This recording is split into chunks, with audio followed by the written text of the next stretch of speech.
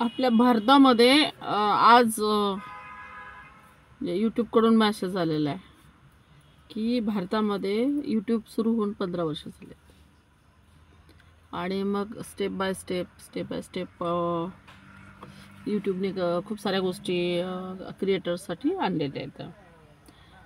सगळ्यात महत्त्वाची गोष्ट म्हणजे पंधरा वर्षापासून यूट्यूब सुरू होतं म्हणजे आणि यूट्यूबवर अर्निंग सुरू होती.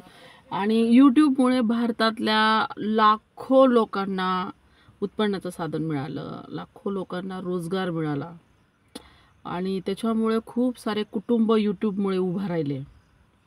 आणि ते यूट्यूब भारतात सुरू झालं आणि त्याच्यामध्ये भारताने देशाने आपल्या त्याच्यासोबत काही त्यांचंही असेल तर. पण या यूट्यूबमुळे आणि अर्थातच आपल्या देशामुळे आपल्या देशाच्या या राजनीतीमुळे म्हणा दोन देशाच्या ह्यामुळे म्हणा देशातल्या आपल्या खूप साऱ्या क्रिएटर्स लोकांना रोजगार मिळाला संधी मिळाली लोक व्यक्त होऊ लागले स्किल डेव्हलप त्यांचं झालं वेगवेगळी माहिती मिळाली. आता कसं म्हणतो ना की गुगल सा गुगल हे हे असं. तर खूप साऱ्या गोष्टी शिकायला आज लोकांना क्षणात आपण एकीकडं गुगल सर्च करतो इकडे यूट्यूब सर्च करतो. वेगवेगळ्या रेसिपीज असतील वेगवेगळे टॉक शो असतील वेगवेगळे माहिती माहितीत माहितीच्या गोष्टी असतील. ह्या सगळ्या लोकांना यूट्यूबच्या माध्यमातून आज ऐकायला वाचायला व्यक्त व्हायला मिळत आहे. सो यूट्यूबच्या आपण म्हणजे मी थरी एक क्रिएटर म्हणून खूप धन्यवाद देते आणि आपल्या देशाचे सुद्धा अर्थातच खूप खूप धन्यवाद की हा प्लॅटफॉर्म भारतातील लोकांना उभा करून दिला दिलेला आहे. आणि खूप सारे लोक जे काय म्हणतात ना रोजगाराच्या मा अशा नोकऱ्या मिळणं कठीण जातं आहे सध्या. आणि रोजगाराच्या हे रोजगार मिळणंसुद्धा कठीण जाते पण मात्र नोकरदारसुद्धा लोक रोजगार ज्यांना आहेत ती लोकंसुद्धा बेरोजगार असणारे अर्थातच वेगळ्या कॅटेगरीतली लोक या यूट्यूबच्या प्लॅट प्लॅटफॉर्मवर असल्यामुळे त्यांना या संध्या मिळत आहेत. आणि अर्निंग सगळ्यात जास्त महत्त्वाची गोष्ट की याच्यातून पैसा मिळतो उत्पन्न मिळतं. जवळजवळ काही सत्याऐंशी रुपये डॉलरची किंमत असल्यामुळे एका डॉलर एक डॉलर सत्याऐंशी रुपये त्याची किंमत असल्यामुळे. त्या पद्धतीचं तेवढे आपल्याला रुपये मिळतात. आणि डॉलरमध्ये ही कमाई असल्यामुळे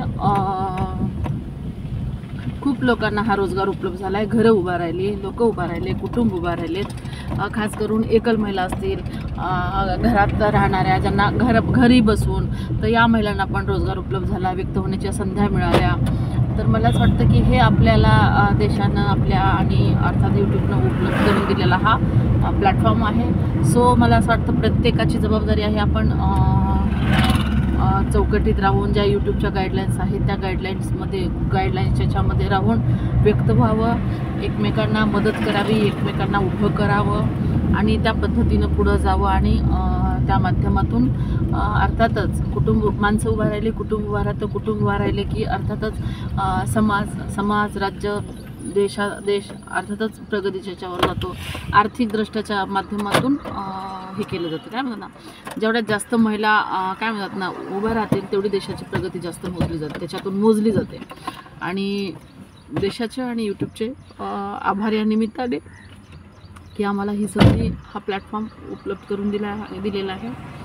याच्यात अर्थात काही यूट्यूबच्या गाईडलाईन्स जरी असल्या तरीसुद्धा या बाबतीतले सोशल मीडियाच्या माध सोशल मीडियाच्या याच्यातमध्ये हे येत असल्यामुळे या बाबतीतले आणखीन काही नियम पाहिजे तसे कायदे जे आहेत या बाबतीतले फक्त एक आय टी ॲक्ट जर सोडला तर म्हणजे त्याचे पूरक असे कायदे आहेत त्याच्या बाबतीतले म्हणजे आय टी ॲक्ट लागल्याच्यानंतर इतर पूरक कलम लावले जातात किंवा याच्यामध्ये.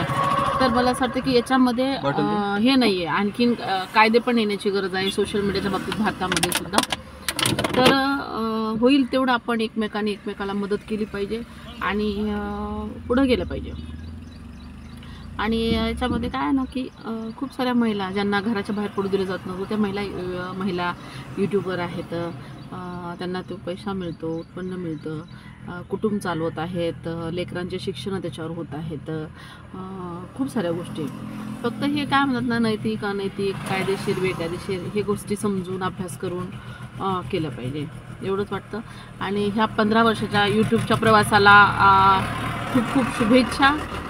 असंच काय म्हणा ना यूट्यूबला आणि माझ्या वतीने आणि माझ्या परिवाराच्या वतीने खूप खूप शुभेच्छा आणि देशाचे पण धन्यवाद यूट्यूबचे पण धन्यवाद की आम्हाला हा प्लॅटफॉर्म उपलब्ध करून दिला आहे थँक्यू.